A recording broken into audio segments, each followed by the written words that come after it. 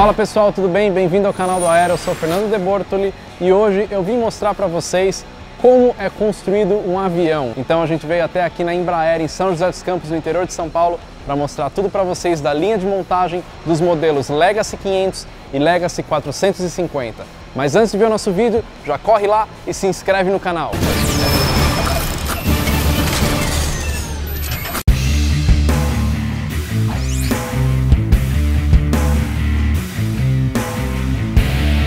Esse aqui é o primeiro hangar da Embraer, onde tudo começou lá em 1969, construindo os bandeirantes. Hoje esse hangar abriga a linha de produção do Legacy, que é o Legacy 450 e o Legacy 500. E aqui nada mais é do que uma linha de montagem, só que diferente da indústria automobilística, onde você tem uma linha com vários carros, aí centenas de carros, aqui são menos unidades, né? Então são quatro aviões que estão sendo construídos nesse momento mas é muito interessante. Primeiro, a organização que a gente vê da empresa, a, da linha de montagem. É uma fábrica que não tem mais papel, eles chamam de conceito paperless, ou seja, tudo que acontece aqui é sem papel, só na tablet, só na tela, tudo com sistemas integrados.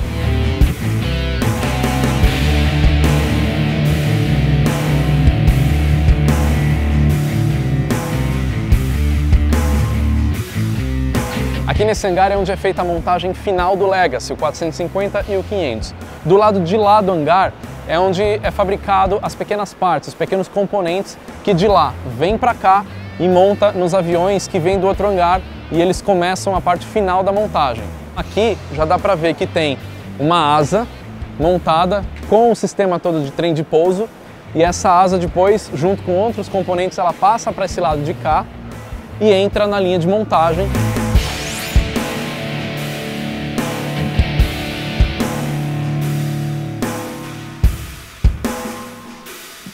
Nessa segunda parte da montagem do avião aqui nesse hangar, alguns componentes vêm aqui do outro lado, os pequenos componentes, e aqui eles começam a montar a estrutura de base dos componentes eletrônicos, ou seja, o sistema fly-by-wire, as aviônicas, tudo aquilo que vai ser acoplado no avião, é aqui que começam a ser colocados os fios, a, a tubulação, o sistema hidráulico, Uh, tudo, tudo que vem antes da parte tecnológica do avião. Também é aqui colocado o revestimento térmico, o revestimento acústico, mas ele ainda está com uma cara daquele da fuselagem, daquele charuto. Vamos ver ele um pouco mais avançado lá na frente, onde eles colocam outros componentes.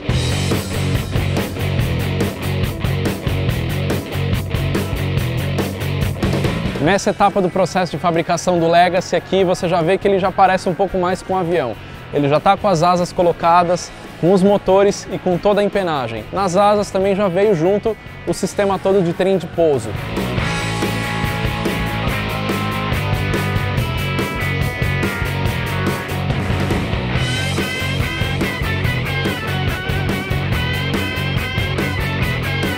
É nessa etapa aqui que tem a parte tecnológica, onde são colocados os aviônicos. Aqui já dá para ver o radar acoplado e com a tampa dele aberta. Na verdade, isso aqui é realmente uma tampa.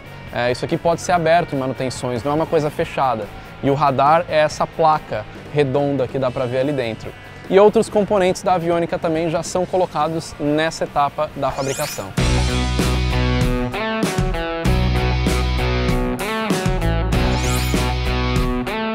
Uma coisa interessante das aeronaves é que não é um único tipo de material de que ela é feita. A maior parte da fuselagem é de alumínio, como dá para ver a cor aqui com todos os rebites. Mas hoje em dia a tecnologia já traz também o chamado material composto, que o próprio nome já diz que são vários materiais combinados em um só para formar um material mais leve, um material mais rígido.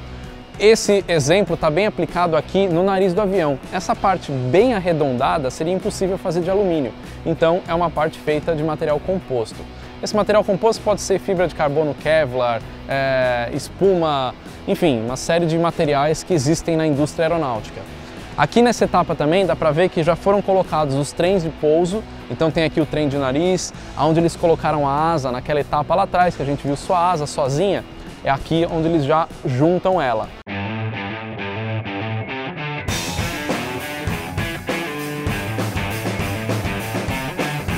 Tem uma coisa bem interessante nesse avião também, vem aqui um pouquinho,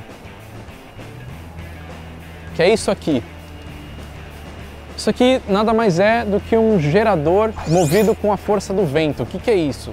Caso esse avião tenha uma pane elétrica, uma pane de bateria, uma pane do alternador, uma pane de tudo, você ainda tem uma, um último backup que nada mais é do que como se fosse um dínamo. Lembra daqueles dínamos de bicicleta que você gira ele com a força do pneu e ele gera energia? Aqui é a mesma coisa. A diferença é que ele tem uma hélice na frente e com a velocidade de deslocamento do avião, essa hélice gera energia para jogar dentro do avião. Claro que isso aqui não fica aberto durante o voo, ele só sai desse jeito quando existe uma pane e o piloto comanda isso lá de dentro para essa hélice, para esse gerador sair da aeronave e começar a gerar energia. E aí depois dessa etapa, ele já vai para uma das últimas, que é onde ele faz a parte do interior da aeronave, já coloca os vidros nas janelas, ele está praticamente finalizado.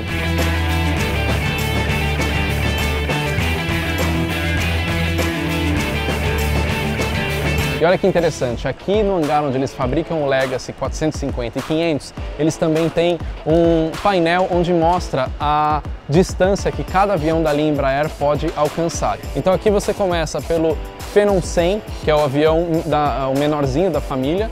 Você também tem os aviões de maior alcance, que é o caso do Legacy 650, Legacy 600 e o que a gente vai também ver mais para frente, que é o, é o Lineage 1000, o Lina de 1000 ele já é um avião, vamos chamar assim, intercontinental, ou seja, a gente já consegue ir de São Paulo para a Europa sem parada, São Paulo para os Estados Unidos sem parada.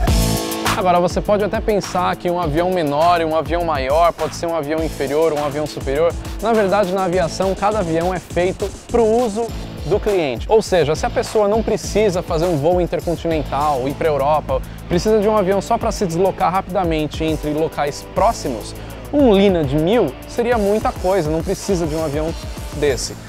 Um Phenom 100 já cumpriria esse papel, até por questões de aeroportos que, que comportam determinado avião. Às vezes o Lineage ele não acessa determinados aeroportos que um Phenom poderia acessar.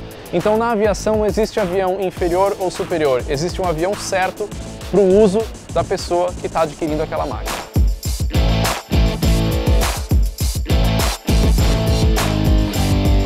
Gente chegou aqui na última etapa de fabricação do Legacy, que ele já está pintado, mas na verdade de lá da etapa anterior, que é a etapa 4 que a gente viu, ele não vem direto para cá, ele vai para a parte de pintura e depois ele vem para cá de volta para montar os últimos componentes, componentes que não poderiam ser contaminados pela pintura ou alguma coisa assim, então é o acabamento final para daqui ele sair do hangar e finalmente fazer o primeiro voo.